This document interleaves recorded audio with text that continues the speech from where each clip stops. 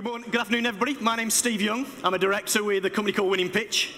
We're a management consultancy that helps businesses grow faster, stronger for longer. We've helped over up to now 10,000 businesses grow really fast. What that means for the businesses is that they get more sustainable growth, what that means for our public sector clients is that we generate jobs at a fraction of the cost of other public sector programs. We create investment and we create exports. So just to give you a flavour on that, in Wales at the moment, on our accelerated growth programme in Wales, we're currently creating jobs somewhere in the order of just under £4,000 a job, most of which are high value. For every four pounds, sorry, for every one pound that Welsh Government put into our programme, we're creating four pounds of external investment in those businesses. So our role is to deliver consultancy, workshops like this, to help businesses grow faster. That's what we're about. So let's talk about today. Today, what I'm here to talk to you about is actually uh, winning work via the value proposition. So we've actually got some good news and some bad news. The good news is that what a fantastic event. It's absolutely fantastic to see so many suppliers, small businesses, big businesses talking about innovation, talking about growth. It's not always been like that. About 15 years ago, I was in Birmingham. And if you've been there with me, I was with about 20 MDs of large construction companies. They were there talking about the problem of innovation in construction. And I was there to be the catalyst, to be the fox in the box that does all sort of stuff on innovation. I listened for about an hour and a half as to all the reasons why innovation wasn't working in construction. And it seemed to me quite a sad story the way it was going. So when I was given the opportunity to say, what's it, why, why do you think innovation's not working? You're here to talk about innovation. I looked up and said, Gentlemen, as I look around the room, all I see is uh, men of a certain age in navy suits with grey hair, all thinking the same, acting the same, looking the same, probably got the same problem with the short game. Deathly silence there was.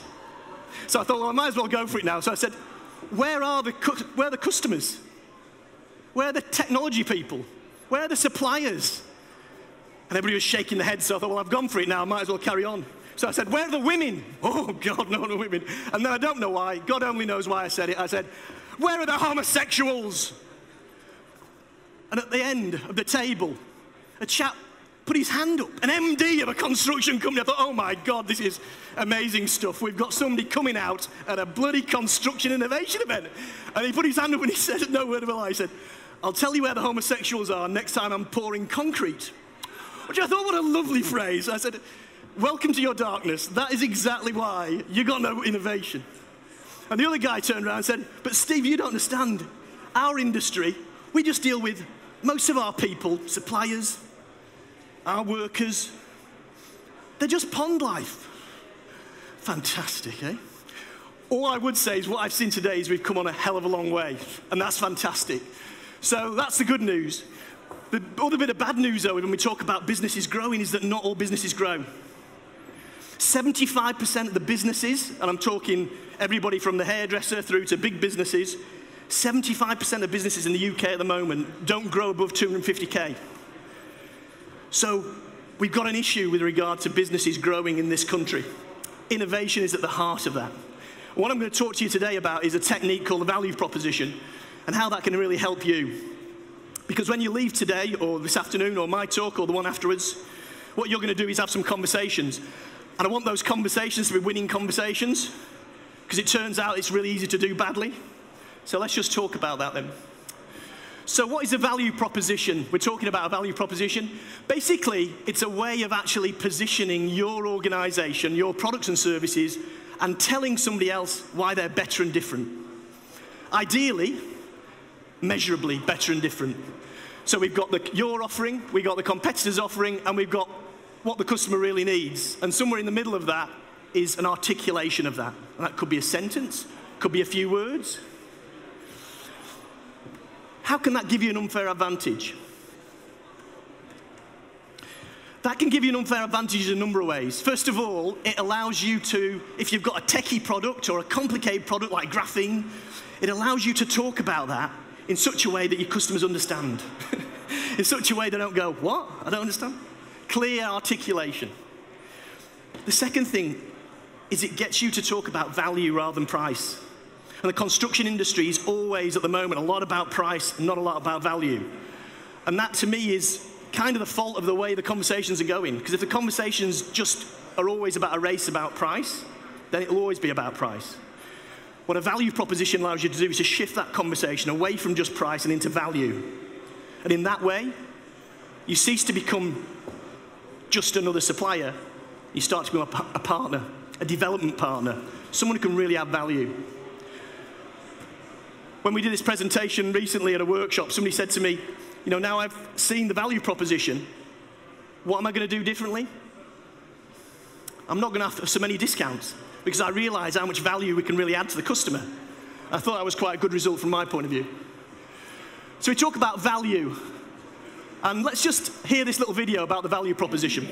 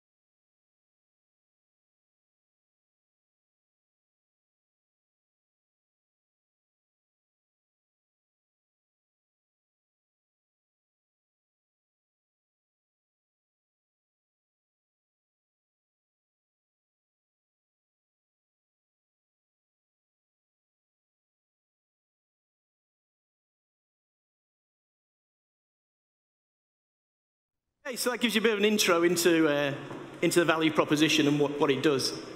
Um, so as I say, we work with a lot of small businesses and big businesses, um, including people like Google, uh, Serco, but also small businesses to make sure that they are really attacking customer pains. What is the job that your business is doing? So I thought I'd do as an example, a live example if you like, uh, using the Connect organization. Um, what we can see is that, just to give you a flavour then of the uh, value proposition, is at the top we put in the gains. These are the outcomes that we've just talked about, the video showed. Customer jobs down here. What are they trying to do? And the pains. You know, we talk about what's the stone in the shoe issue. Too often, when we see conversations like are going out there, rather than trying to address and understand the pains and the customer jobs people go straight into their sales pitch and start talking about everything their product can do. What we want to do, first of all, is understand what the customer's problems are, what the customer jobs are. We then go over to the value map, which we just heard about, which is really about talking about, well, what's your product? And mapping that, so these pain relievers to those pains, those gain creators to those gains. And does it fit? If there is no fit, then there's no product. And that's what happens to a lot of those small businesses that I work with, is that the reason why somewhere in the order of about 75% of startup businesses fail within three years, 75%, is because there's no market need. Somebody is very passionate about their technology or their new product or whatever it is, but it's not really meeting a need. And that's because nobody's asked the question. So this technique really helps undress that. So here's a quick example. So we talked about the right-hand side. So this is customer jobs. So what customers are we trying to get done in their work life? So a connect example would be if we just took a plant director at HS2. If we went out there now and said, okay, what is your job? What are your roles? And that job could be social job, could be his functional job, or it could be her other sort of job. So if you just take, for example, this is what happened with a particular technology that's out there at the moment. Talking to the customer. The customer articulated that the jobs and the roles that they did were undertake delivery commitments, deliver on time, keep to budget, build on the firm's reputation. Those were the jobs they wanted to do. When we asked about the problems, customer problems, the risks, the obstacles, they came up with these things. Underground strikes caused by human error. Stress caused by people and problems. Keeping the site safe. Incurring penalties. Meeting challenging environmental standards. Causes of program downtime and disruption. Generating accurate, timely management reports. Waste of time, money, etc. So rather than going in head first and talking about the technology, because this organization had this type of technology, this type of technology, this type of technology, we focused on the customer problems. Only when you understand them can you develop a successful product. What were the gains? What, the, what, what, what sort of benefits were they looking for? So they were, in addition to these pains, they had these gains. They wanted good return on investment, great productivity, boost environmental performance, etc. Excellent utilization, strong reputation as an innovator. So these are the sort of things they were after. And we got them to sort of prioritize those and the, the technology companies that worked with them actually really went through these and really focused so they matched those pains and gains. So what does the other side look like? We talk about products and services. So in this case, it was uh, Leica, avoidance zone solution. So what they realized, and only then did they realize, was that what they needed was a number of different technologies to come into this, to play. So a portfolio of different technologies, a mashup of technologies to really address those key pains and those key gains. So what they did was put in things like the pain relievers. So these were producing a product, developing a product, and it's still in prototype at the moment, that does things like, that has technology on board to reduce underground strikes by developing a ground penetrating radar. They produce more machine control in there, such that that reduced the number of um, difficult conversations through more predictable excavating. They eliminate the need for manual strings and pegs because that was a real pain to do. They reduce the delays and penalties. How? Through more precise excavating. So the technology around the precision around the excavating, probably to about five millimeters, had to be in there. And also in terms of, because one of the pains was about monthly reports, what they also put in there was that the telematics would automatically create KPI dashboards.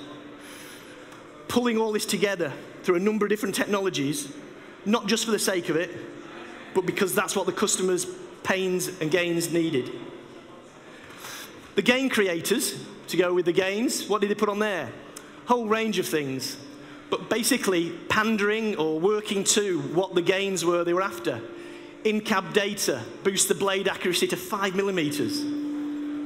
Acts as a billboard to show you're a pioneer of new technology, which was to address the problem that they had about they wanted to be seen as an innovator. View the site in real time to increase utilization of operators. so they could save money and increase return investment. Key driver, key driver of reduction in accidents as well. So we've got more technology on there. And then what we want to do is this idea of fit. So we know that a successful product or service is only be successful if you fit this with this, if you fit the, the value proposition side with the customer side. So what they are doing at the moment is really looking at, at the prototype of this. And what we can see there is quite, uh, quite a predictable, quite a prescriptive way of saying, okay, these are the features. Why are these the features? Because this one matches with this particular thing, this one matches with this particular thing. So it's really clear that they're mapping what the features of the product are with what the needs of the customer are. And actually, probably, we can prioritize that down further. But deliberately going about trying to map features to needs is a real key difference between the businesses that we're seeing that are winning and those that basically I know a number of technology companies that go away and think, wow, I've just got a great idea. I'll go and build XYZ. And then I'll get some funding for it. Then I'll do some more development of XYZ before they've even actually asked the customer. We had a, a company in um, Wales attracted £400,000 uh, two years ago. And they, what they produced was a, a, machine that helped optimize the configuration of uh, cyclists, professional cyclists. So they got hundreds and hundreds of thousands of pounds. They took on 32 staff. And only after a, a year and a half did somebody realize that nobody really wanted this product that can't go on. that's, a, that's a whole waste of time, effort, and dreams as far as I'm concerned. So, mapping one to the other, but it starts with the customer. Just to give you another quick example Hilti, a few years ago, faced a growth problem. They weren't growing as fast as they could do. Hilti produced fabulous tools. Some people would say too fabulous. The problem was that they never broke down and they looked gorgeous. So why would you buy more? They had to change the, they had to change the growth model. So one of the things that they did was to say, well, I think maybe we know what customers want. They want um, more tools. They want bigger tools, more powerful tools, better looking, more sexier tools. But actually, when they talk to the customer, that's not what they wanted. So if we take the Fleet Hilti example here, the, uh, instead of selling to the, the uh, construction workers, they started talking and listening to directors of major small to medium sized, medium sized to large sized construction companies. I went through their jobs. So, what is the job? Well, similar to one we had before, really. Find and execute contracts, respect deadlines, fleet planning. But what, did, what were the pains that these MDs had? It wasn't about we need a better looking tool. it wasn't about we need more powerful tools. It was actually theft. It was actually upfront, we don't want upfront investment. What about broken tools? What about delays? What about the stress when we don't have the right tool at the right time? All the penalty charges associated with that. So they talked an awful lot about this issue of right tool at the right place at the right time. What were the gains? They wanted 100% uptime. They wanted access to the newest tools. They wanted predictable costs. They wanted profitable contracts and they wanted safety, so they wanted the latest tools. So that actually drove Hilti to a totally different new model of growth. One that, had they not done this exercise, they wouldn't have been able to get into.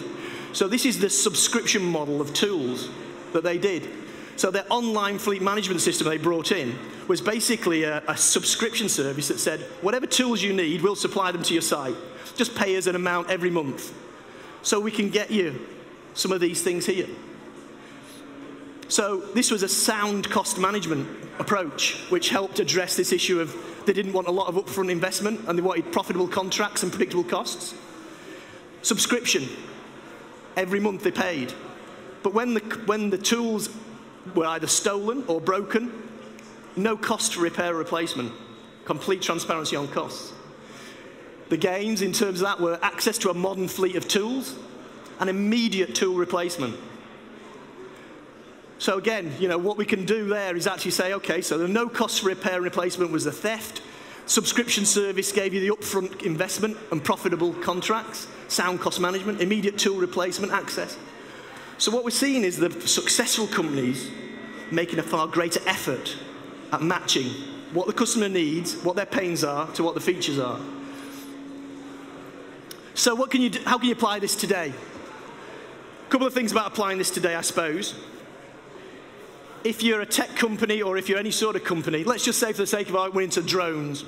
Drones are very topical at the moment, and I'm sure there's people out there right now saying, going up to stands and going up to people and saying, oh, let me tell you about my drone, and droning on, so to speak. But what are the first questions you should ask if you were in their position and you were selling drones? Shouldn't be about, um, our drone is this fast, or would you buy this drone, or this is how much it costs, would you buy it for that? We need to go back to customer pains. So you'd be asking questions like, how do you review your sites? What are your other pains with regard to reviewing sites? Out of that, things like, um, not only do we uh, waste a lot of, I think it was the 15% of some of the stuff that's delivered to construction sites ends up in landfill. Also, probably when, when I've had these sort of conversations, what we hear is um, not only do we want to review a construction site, but it be really, we really struggle with actually monetizing and, and estimating how much that pile of gravel is, costs, or those stones. Is there a way that we could do that? So the key thing here is not about selling. Selling to me, two ears and one mouth. you need to use them in that order. So when you're going out there and in conversations, the questions have got to be about, talk to me historically about the problems and issues you have with. Get them to talk because they'll load the bullets for you for you to fire. Other applications, uh, this is an organization that produce a, uh, like a normal weighing scales, but it also has a scanner on. So it can scan your whole body and weigh you at the same time. I mentioned earlier about talking about pains and gains, and one of the things here is this organization used uh, traditional sort of flashcards or a virtual version of it to help customers prioritize which pains or gains or which issues were the highest priority for them because they realized they didn't want to do everything. So in, in, interestingly, uh, this thing could actually uh, predict what you were going to, and give you an image of what you were actually going to look like if you carried on eating and not exercising. It could give you a body review. It could give you a time-lapse video. It could track volumes. It could give you actually specific is issues about measurements of your body or muscles or fat.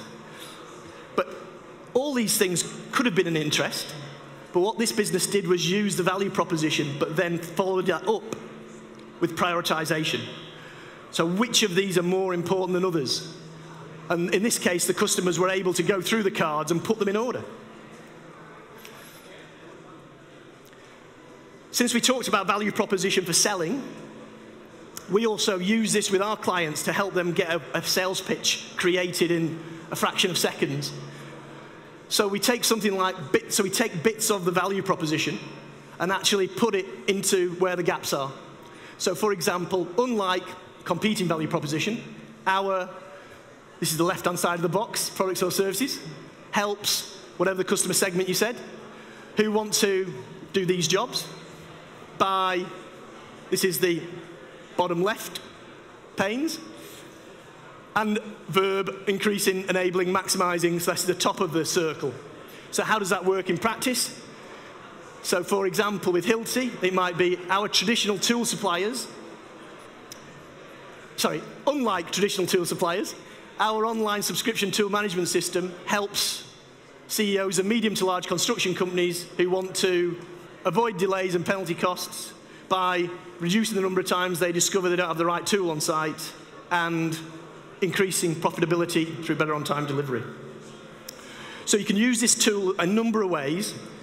Yes, to tickle out the stone in the shoe issues, the problems. Yes, prioritization, but also it's a good tool to use as well in terms of actually creating the value proposition and testing those. Next stage, if you like, is really about taking that value proposition and then taking it to the next stage of innovation.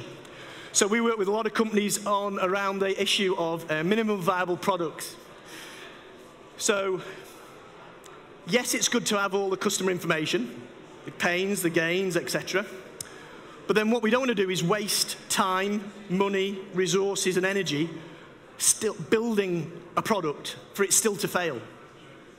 So what we want to do is produce something what we call a minimum viable product or a prototype, whatever you want to call it. The great news for people like yourself is that there's many different types of ways of doing this now. The internet, iPhone, etc., has transformed the way that people can actually prototype nowadays. So for example, explainer videos. Don't go to the trouble of actually creating something. Nowadays, you can do a quick video and it's cheap, and I'll show you uh, Dropbox in a second how they did it. But we don't have to go and produce something. Next one is um, an animated PowerPoint or white paper.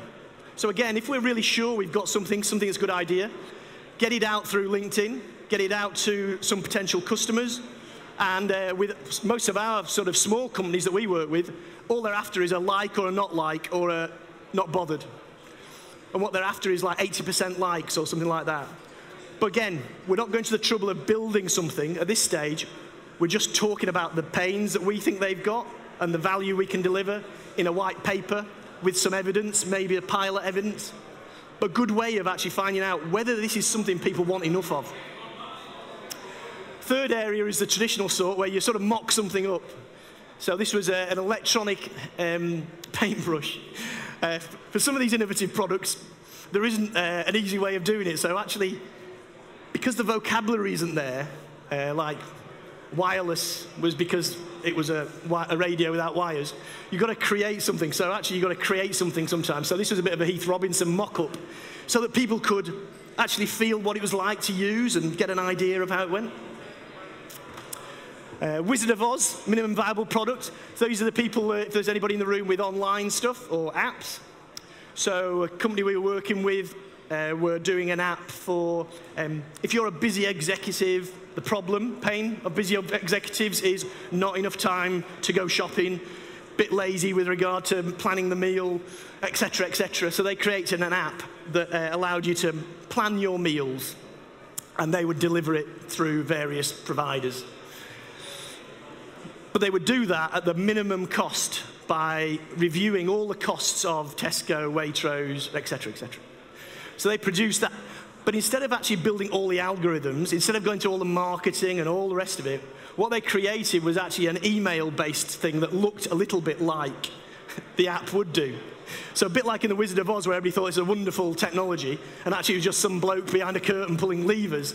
This was basically just the other side of the app was basically four people emailing or going on Tesco's website very quickly, looking at what the site was, looking how much it cost, comparing that with Morrison's or Waitrose, and then emailing something back within 30 minutes.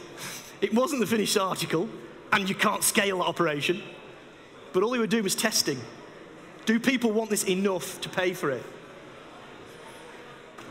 Fifth one we're seeing a lot of at the moment is um, small businesses coming up, creating an animation or some form of video, but then put, putting that straight onto crowdfunding and the crowdfunding platforms to see whether anybody's really interested.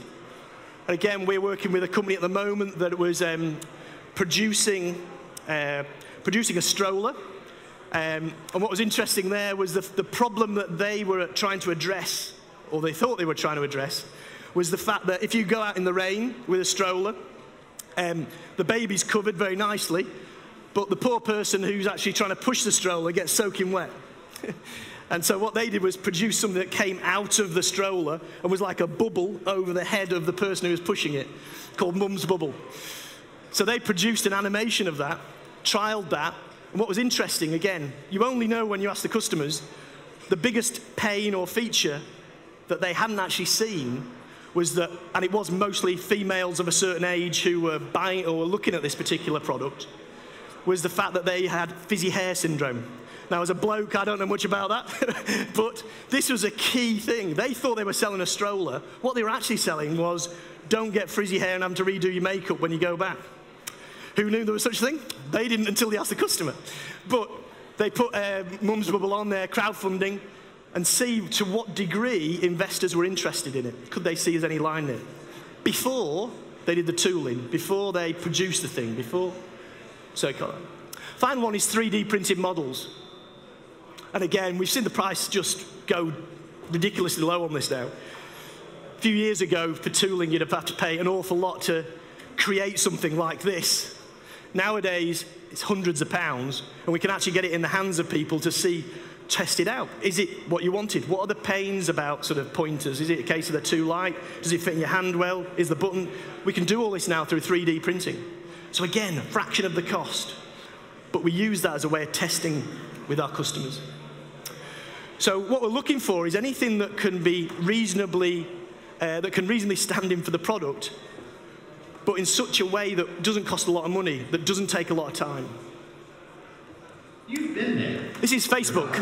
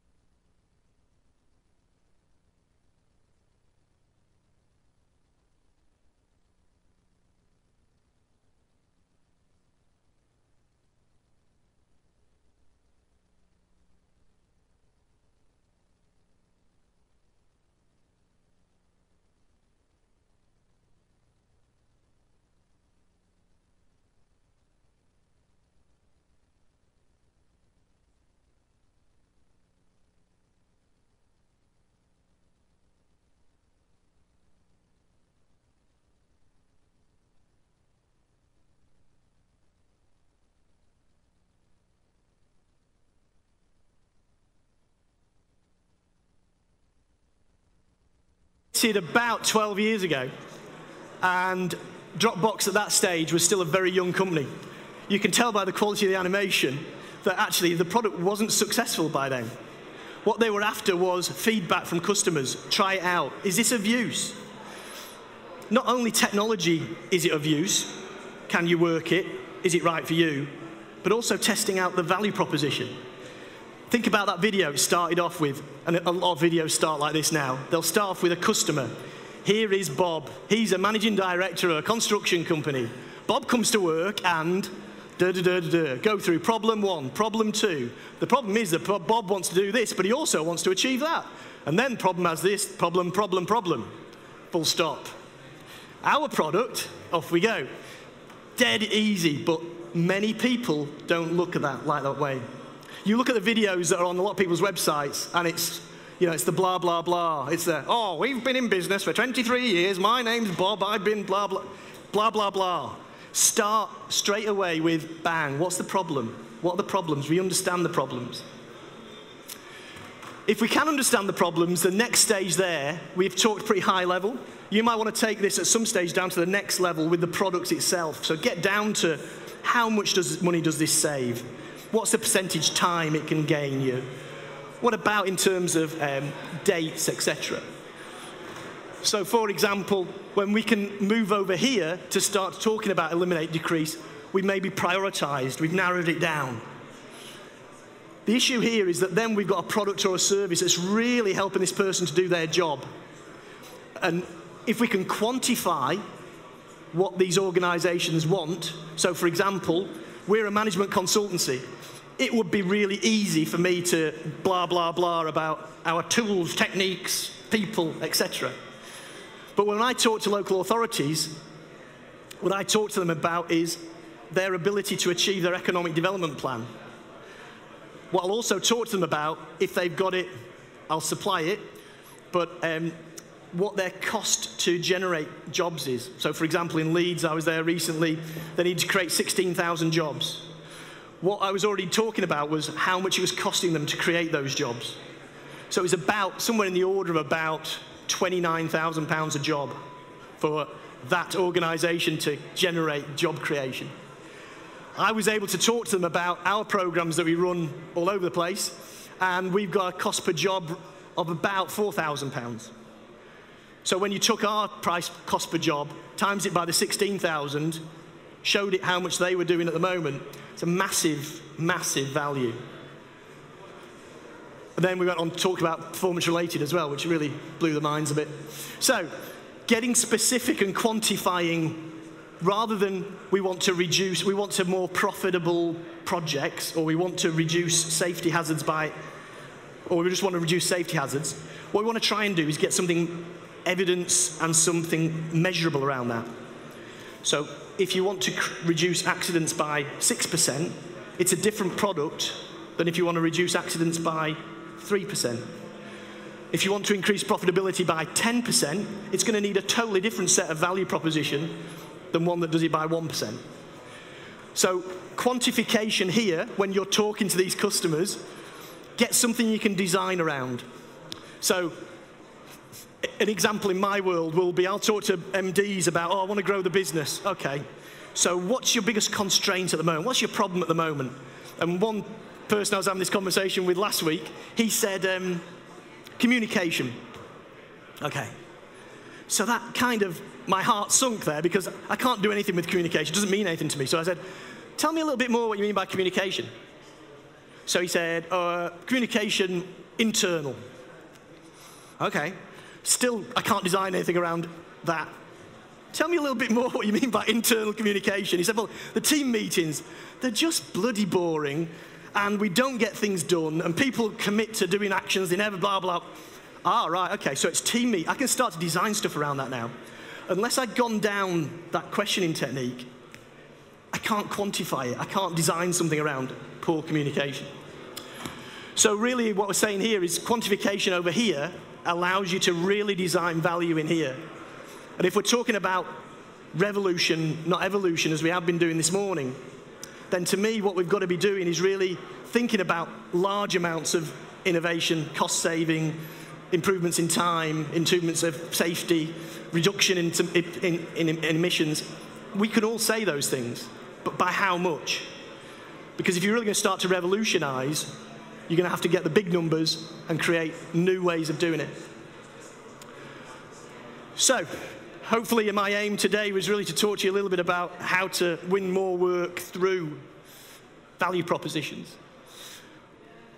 I think in terms of competitive advantage, it's a way of actually articulating how what your products or services do in a way that real value, value that the customer can see. We talk to people about what we want to see is I want to see the customer's pupils dilate when I talk about the products we're doing because they go, bloody hell, that's really solving my problem. If only I could have that. We've got companies in Wales that are selling prototypes, selling prototypes because customers are so locked into the needs that they're addressing. I suppose the final slide here on innovation really and being unique is, I think, the only competitive, that, competitive advantage that we all share, and we're all from different industries maybe, but the only competitive advantage we really have is the ability to learn faster than our competitors. That's it. If you're going to learn faster than your competitors, then I would say have the right conversations. Talk to your customers and potential customers about their problems and what they need. And if you can do that, I think you can not only be successful, but you can grow your business as well. Okay, thank you very much.